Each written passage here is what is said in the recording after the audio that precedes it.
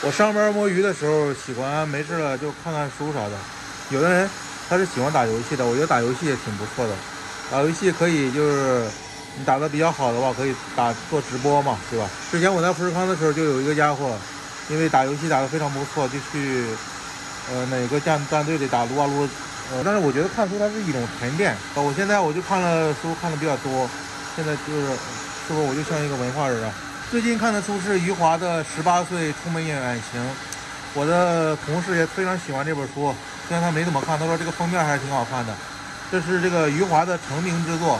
就余华说说他刚刚写下《十八岁出门远行》的时候，他就知道他这一辈子的叙事方式就是用这种。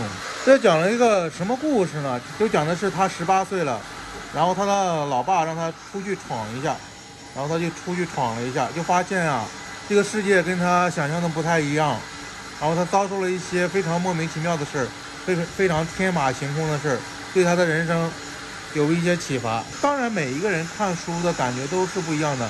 像我的话，我是比较肤浅，我只会去看他表面的故事，我从来都不会猜测。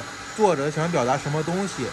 对，这也是导致我高考语文这个考了八十分的主要原因，没有办法做好阅读理解。感兴趣的朋友可以去看一下，我不说了，开始讨生活了。